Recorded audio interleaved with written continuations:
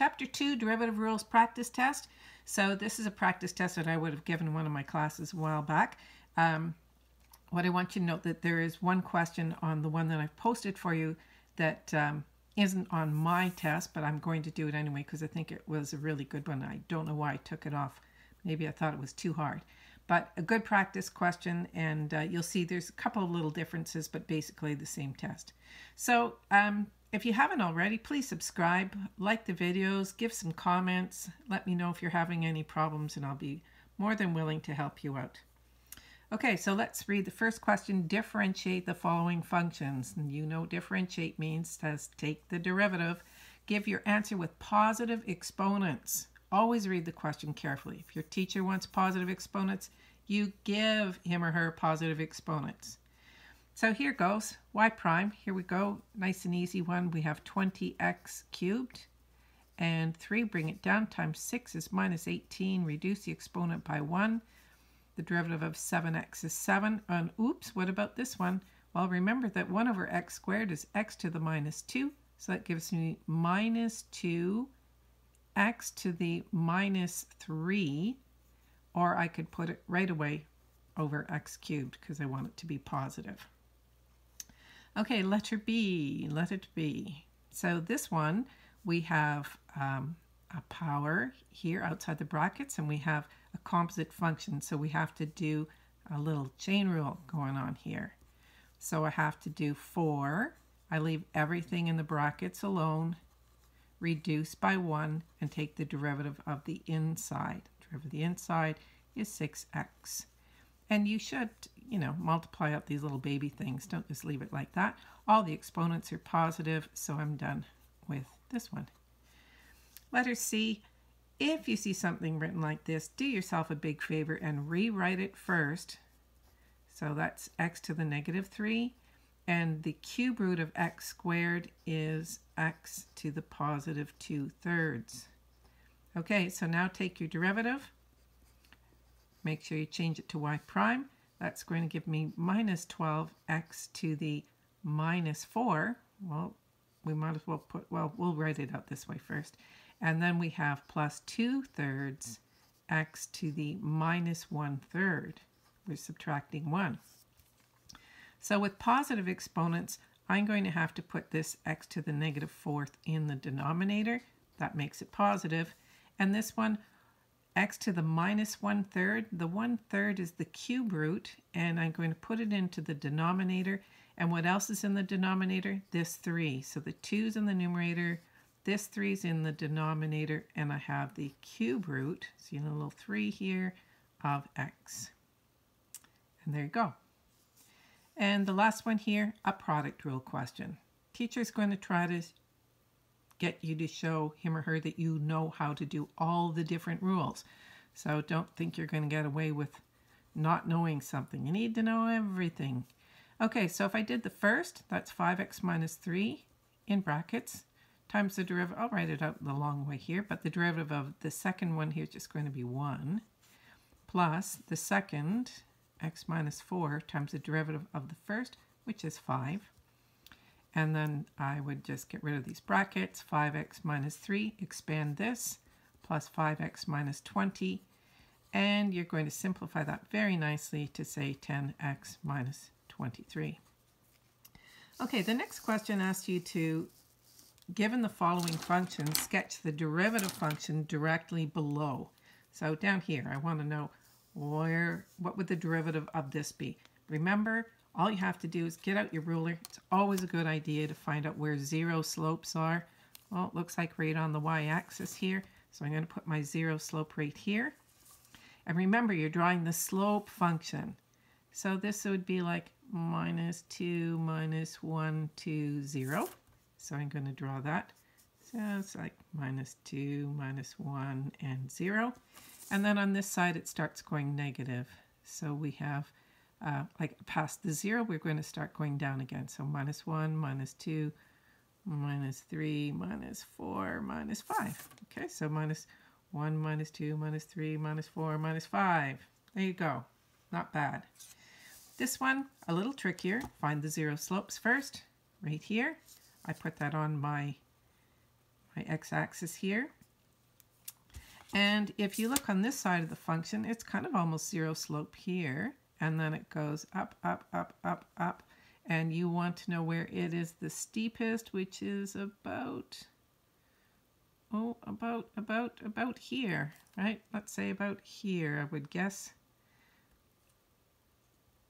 So if that's the steepest, and then from there, see how I'm going up, and then I'm on the other side with my tangent lines, and that's going to go back to zero pretty quickly. So this is a maximum. So I'm going to dot that down here, and I'm going to put it about here. So it's maximum slope and then back to zero. So this has to come back down like this. And this was zero almost to this big spike here, back to zero. And then on the other side, you have the same thing again, right? So we have um, zero slope, and that goes negative very quickly. And the most negative point, or most negative tangent before I start turning my ruler around is about here, which should be right across from this one. And that's negative. So this is the most negative point. So I'm going to dot that one down here and make it about the same distance because this is pretty nicely balanced. And it's going to go back to zero. So there you go. That was six marks. Ooh, wouldn't you like to have had that? Okay, so again, we have the most positive, that is the maximum. The most negative is my minimum. And you look for the zeros.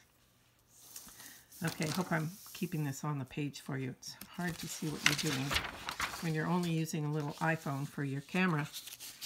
Okay, state the first principle's definition of the derivative, then determine the, the derivative of y equals the square root of x minus 2 using this definition. So I was obviously trying to make sure that they know what the first principle's definition of the derivative is.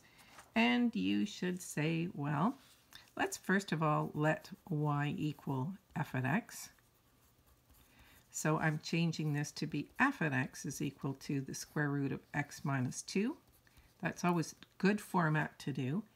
And the first principles definition, I'm going, well, I've got knots room here, I'll write right here. So f prime of x is equal to the limit, that's what we're doing here, as h approaches 0 of f at x plus h. It should be like this. Got too many brackets going on here. Whoops, it's going to be a little dizzy for you for a minute there. Okay, f at x plus h minus f at x all over h. Probably know that well by now.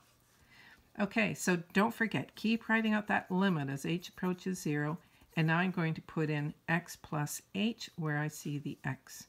So I have the square root of x plus h minus 2 minus f at x is the square root of x minus 2 all over this very small little increment h. Okay, so from here, um, if your teacher asks for a first principles um, derivative, it's either going to be a radical or it's going to be a rational, probably one of those two because they're the hardest ones, right? I'm not going to ask you to do a polynomial. Those are pretty basic. Okay, so now I'm going to multiply by the conjugate. And that's what you need to remember when you're working with radicals. You're going to multiply by the conjugate. And notice the conjugate is the very same thing as this one, except I change the sign. If I multiply the top, I must do the same thing to the bottom. It's like multiplying by 1, right? Okay, now remember you keep in this limit here. The limit as h approaches 0. And when I multiply these two together, I get rid of the um, radical signs, obviously. And when I multiply these two, I get rid of the radical sign, but it's negative. So I have to change the signs of what's in here. So minus x plus 2. Now you will know if you make a mistake because these numbers have to go away, right? You have to only have an h in the numerator for you to divide out the h in the denominator. So if, if that's your problem, you will know right away that something has gone awry. Okay, so here we go. Look in the top here. I have x minus x. I have minus 2 plus 2. I'm left with an h. That's exactly what I wanted because I want to get rid of this h. Don't worry about them being an h here. That's just x plus 0 minus 2. So this goes into here one time. I plug in h is 0 and I have 1 over and I have x minus 2, root of x minus 2 plus the root of x minus 2. That's 2 roots of x minus 2. And there you go, 5 marks. Ooh, yeah, got that one. Okay, number 4, determine the coordinates, that's x and y, of the point on the graph of this where the slope of the tangent is minus 2. Okay, so when you're doing questions like this, remember that you have to write out in math, what does this mean? Where the slope of the tangent is minus 2. If the slope of the tangent is minus 2, we'll say, okay, m is minus 2. But that also means that f prime is minus 2. f prime, oh, well, if this is f at x. So I'm going to say f prime of x is going to be equal to minus 2. Um, that's the slope that I want, but I want to know the coordinates when this is minus 2. Find the equation of the tangent and show that this tangent touches the curve y equals blah blah. Okay, well let's worry about finding the tangent first. Okay, so I'm going to say let y equals f at x. So f at x is going to be equal to x squared minus 8x plus 14. And I'm going to do f prime x, because it's calculus, always take the derivatives, got to be worth something. Okay, so I get 2x minus 8. And I know that this was given, so I set that equal to 2x minus 8. I bring 8 to the other side, that gives me 6 equals 2x, and that means x is equal to 3. Okay, so I know the x value is 3, so I'll say when x equals 3, what's y equal to? Or f, I used f and x, so f at 3, not the prime, okay? This is a coordinate. Coordinate, you go back to the original function. So 3 squared minus 8 times 3 plus 14. Um, that's uh, 9 and 14 is 23, and this is minus 24, so that gives me minus 1. So therefore, the coordinates, coordinates um, where slope is minus 2 coordinates is r, whatever. Um, so I had x was 3 and minus 1. This is the point where the slope is minus 2. Okay, so that's first part of the question done. Find the equation of the tangent. Okay, so equation of tangent, you think y equals mx plus b. Um, it didn't ask for a type of equation for the line, so standard or y equals mx plus b form would be acceptable. Always check whatever you're asked for. So I have m is minus 2, x is 3, y is minus 1. Plug it all in, right? Minus 1 equals minus 2 times 3 plus b. Minus 6, bring it over here. b is going to be equal to 5. So my equation is y equals minus 2x plus 5. Okay, show that this tangent touches this curve. Okay, so if this tangent touches this curve, I want to know where they're equal. Where are they at the same place? So all I have to do is set them equal to each other and solve. Okay, let's bring everything to this side, set it to zero. So it gives me x squared. Brought this over, Bring this over. That gives me two x's on this side. And 5 minus 4 is 1. And you should know right away that's a really nice question to factor. Ooh, I'm way down the page. So sorry. I'll wait a second. Okay, so now that I have this, I want to factor it. So it gives me x plus 1 squared. So x equals minus 1. That's the x coordinate, right? I don't have enough room here for my paper. That's a problem. So if x equals negative 1, what's y going to be equal to? You use the original function, and I find out what is f at minus 1. And f at minus 1 is going to be minus 1 squared, minus 8 times minus 1. Oh, wrong equation. I need to use the equation that I'm trying to find. Went back to the original one. Okay, I want this equation. x squared minus x squared. So I'm going to be minus minus 1 squared minus 4 times minus 1 plus 4. Um, the point of contact. So when I plug this in, that's going to give me minus 1 plus 8 is 7. So the point is, you say maybe point of contact if you had a little more time. I'm trying to get through this without being too long. So minus 1 and 7. Okay, let's go to question number 5. Oh, just I want to make sure that I'm on the same questions as you have that I gave you. Uh, 3, 4. Okay, you have the same one on your test. For the function 1 over x squared plus 1, determine the equation of the tangent in standard form at the point 2 and minus uh, 2 and 1 fifth. Okay, so 2 and 1 fifth. So I'm trying to find the slope, right? So I want to find slope first and equation. Okay, so we need the derivative. The easiest way to take this derivative is to write it with x squared plus 1 in the numerator to the power of negative 1. Okay, so y prime is going to be negative x squared plus 1 to the minus 2 times, don't forget the derivative of the inside, 2x. So I get negative 2x over x squared plus 1.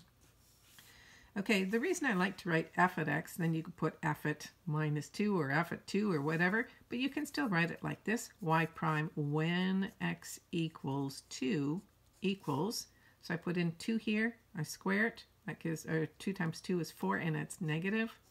In the denominator, I have 4 plus 1 is 5. Whoops, I forgot something. Squared. So it's 25. Yeah, don't forget when you move things around, make sure you keep all the exponents. So this is my slope. So I'm going to write y equals mx plus b. Now notice this question asks for standard form for the equation. So that's not y equals mx plus b. That's ax plus by plus c equals 0, right? Okay, so now I have to plug in everything. I have x is 2 and write that all over here for you. y equals 1 fifth and slope is minus 4 over 25. Plug that in, find b. Mm -mm. So 1 fifth equals slope, where's my slope? Minus 4 over 25 times x, which is 2, and plus b. So that's minus 8 over 25. I bring it to the other side. Minus 8 becomes plus 8. This is 5 over 25. So 8 and 5 is 13 over 25, and that's my b. So in y equals mx plus b form, right now I have this. y equals minus 4 over 25x plus 13 over 25. If I want standard form, I'm going to multiply everything by 25. So I get 25y equals minus 4x plus 13. And in ax plus by plus c format, I have to bring everything to this side. So there's my ax plus by plus c, which is minus 13 equals 0. And that would be your standard form for your function, your tangent line. Okay, this is where I put a little star, and that's because question number six that you had was this one here, which I think is a very good question. It says find the numbers a, b, and c so that the graph of f at x equals ax cubed plus bx plus c has x-intercepts at 0, 0 and 2, 0 and a tangent with a slope of minus 22 when x equals 4. Okay, so when you see a question like this, like don't panic, first of all. But what you want to think of is, what do I already know? What do I know? Why? What are these little clues here? So this tells me when x equals 0, f at 0 is 0, right? We're on the same page here. We all there? Okay, so I know that f at 0 is equal to 0. I also know that f at 2 is equal to 0, right? That's what these tell me, these x-intercepts. Okay, so if f at 0 equals 0, then if I plugged in f at 0 is equal to, I put 0 here, put 0 here, and I get 0. So I get a times 0 cubed. This is really kind of a waste of time writing this all out. But nevertheless, 0 is equal to c. So if c is 0, that just gets rid of that one. So um, what's f at 2 though? That might be a little more interesting. f at 2 is going to be a times 2 cubed plus um, b times 2 plus 0. I don't need to write the c in. So f at 2 has to be 0 is equal to, this is 8a plus 2b. 8a plus 2b equals 0. Okay, that's one really handy little equation that we're going to save. Now the other part of this says a tangent with a slope of minus 2 when x equals 4. So this is telling me that f prime at 4 is equal to negative 22. So the slope when x is 4 is minus 22. So let's take the derivative of f at x. So f prime at x is 3ax squared plus b. Look, we've got an a and a b, we've got an a and a b, and we know that f prime at 4 is minus 22.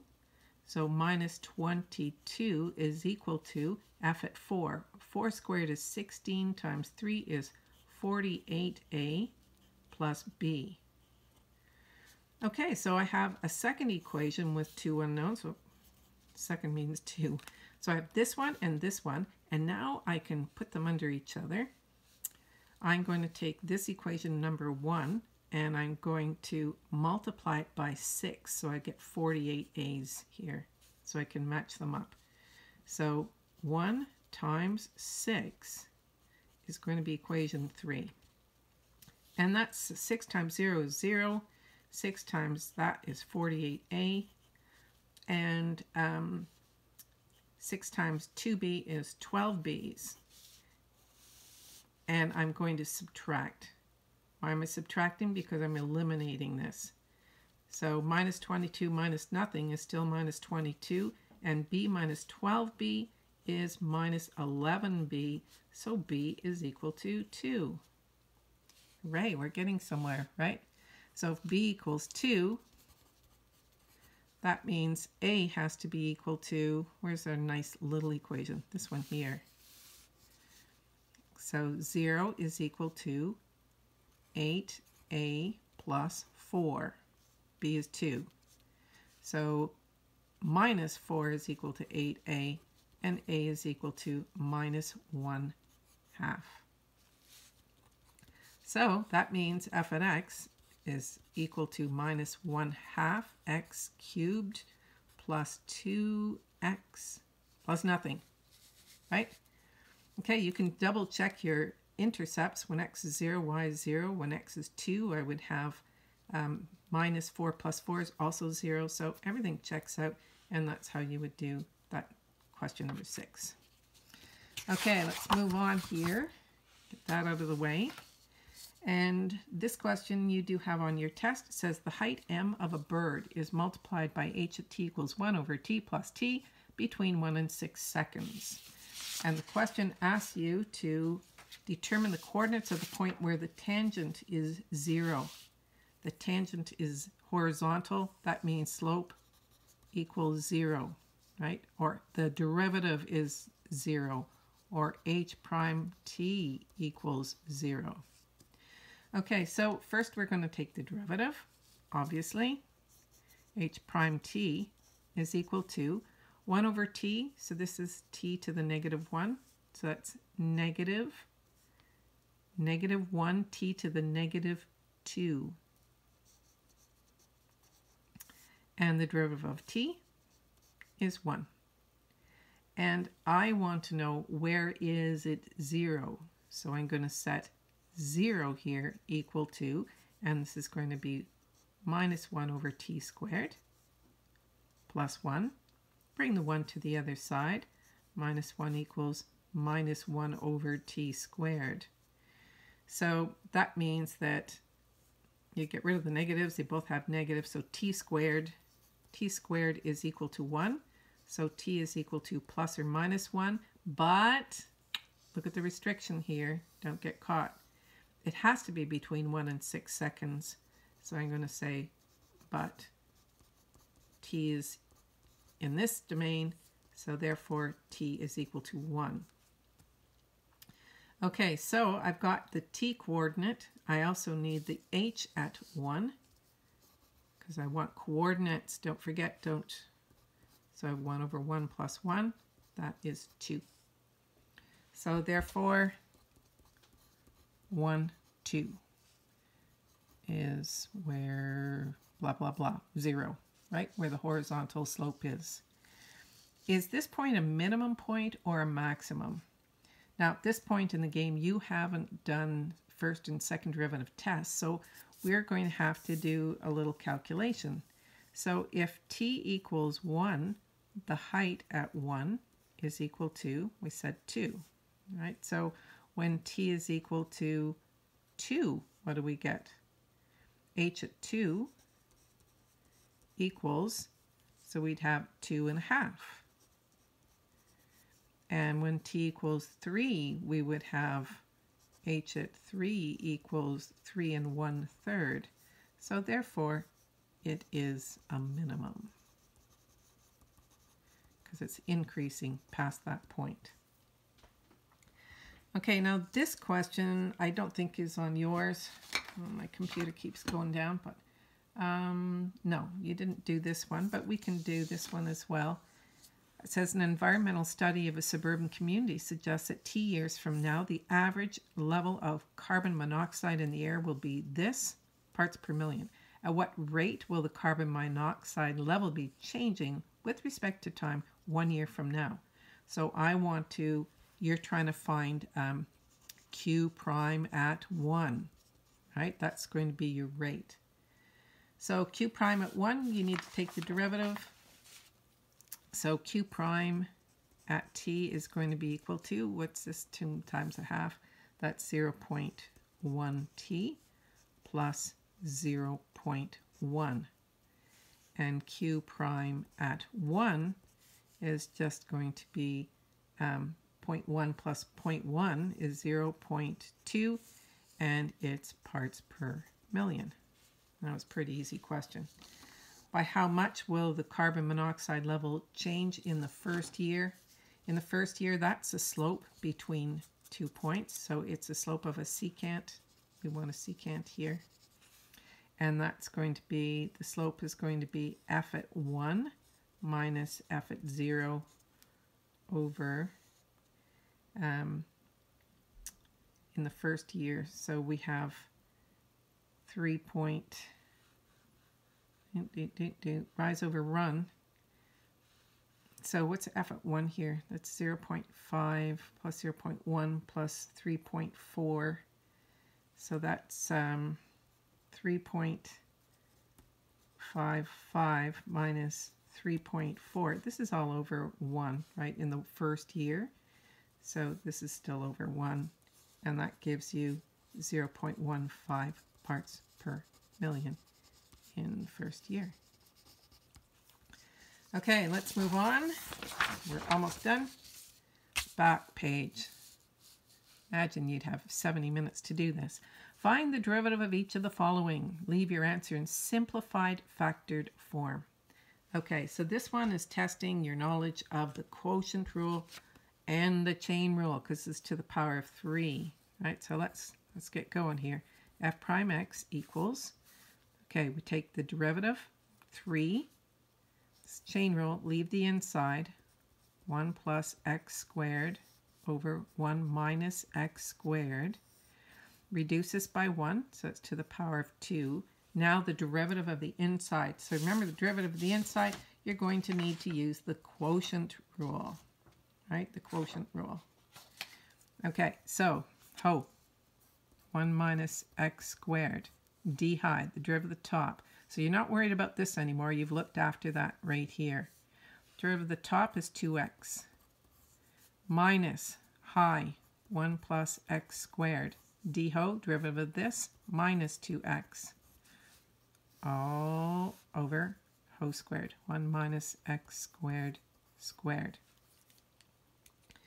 Okay, so next part. We're going to do some simplifying here. Um, let's leave this. Just simplify what's in the brackets first. I hope I have enough room to do this for you. Okay, so this is going to give me 2x minus 2x cubed.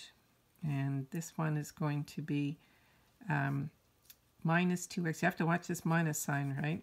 Careful. So I do minus 2x, so that's going to be plus 2x. And then this times this is going to be negative 2x cubed, but it'll be plus 2x cubed all over 1 minus x squared squared. Okay, so this one cancels with this one, and we have 4x over this. 3 over 1 plus x squared, 1 minus x squared, and in the top I said we have 4x over 1 minus x squared squared. Okay, so if you're multiplying all these things together, you should be able to see that what we have here on the in the top, we have 4x times 3, which is 12x times, so we have 12x times 1 plus x squared, right? This times this times this one. And in the denominator, I have 1 minus x squared I got rid of the square here, didn't I? Somewhere along the way. So I had 12x times 1 plus 12x squared, and in the denominator I would have 1 minus x squared to the power of 4. Leave your answer in simplified factored form. So that to me looks pretty simplified and factored. I don't think I would have expected you to leave it in anything better than that. No, that's good. Okay, number, letter B of number 8. f at x equals this times this. Simplify, you do not need to rationalize the denominator. Hmm, okay, wasn't even thinking about that at this point. So let's do f prime x. So we do the first times the derivative of the second. Remember this is to the half power. So I do 1 half 4 plus 2x to the minus 1 half times the derivative of the inside. Don't stop. That was just your first times the derivative of the second, plus the second times the derivative of the first. So the second is the square root of 4 plus 2x times the derivative of this is going to be 5. Okay, now the question asked you to simplify it, so you need to do a little better than, than this mess. Okay, so let's look what's in the numerator. So I have 5x plus 6 times 2. And in the denominator, I have 2. Always check what's up top, what's, what's up bottom. And then this, I have the square root of 4 plus 2x. Okay, did you follow all that? So numerator, denominator, denominator, numerator plus, and I have 5 times 4 plus 2x. Okay, so in order for me to simplify this, I have to find a common denominator because I have to add them, right? There's a plus sign in the middle there. So if I'm going to add them together, I have to give this the same denominator as this one here. Okay, so um, we can divide these two out. That makes it a little bit easier. And now I'm going to do this. So I have 5x plus 6. I'm going to put in bracket just to keep it, keep it clean. And I'm going to multiply this part here times the square root of 4 plus 2x and the square root of 4 plus 2x. Okay, so it's like multiplying by 1. So this is going to um, get rid of the radical sign. So I have 5x plus 6. And my common denominator is the square root of 4 plus 2x. And this now is going to become plus 5 times 4 plus 2x because I got rid of the radical. Okay, so simplify a little more. 5x plus 6 plus 20 plus 10x over the square root of 4 plus 2x. So that's why they said you don't need to rationalize the denominator here. So I have 26 plus 15x, or 15x plus 26, whatever way you want to write that, over the square root of 4 plus 2x. Ooh. And the very last question here, it says y equals this. Do not simplify. Show me that you know the first step only. So this is one to make sure that you, you've got all the plans here going. Okay, so we have a product. So we have the product rule. We also have this exponent stuff going on. Okay, so here we go. I'm going to do the first times the derivative of the second. Now don't fret if you do yours the other way around. That's 6. 4 minus 7x cubed.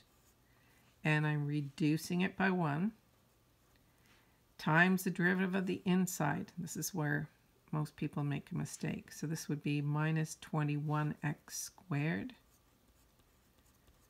Okay, so I did the first. This is the derivative of the second, right? derivative of the second. So 6, leave this alone, reduce it by 1, derivative of the inside. Plus, now I'm going to write the second, minus 4, 7x cubed to the 6th, times the derivative of the first. So the derivative of this one is going to be 2 times 5 plus x, reduce it by 1, it's just 1. The derivative of the inside of this is just 1. So there you go. You don't need to simplify it. The test was to see that you knew all these little steps. Okay, I hope this helps you with your unit tests. There's um, lots of math going down here, and I'm, I'm sure you've been working very hard at it. I wish you all the best of luck on your unit test. Although, as I always say, luck will have nothing to do with it. It's all in the practice. Bye for now.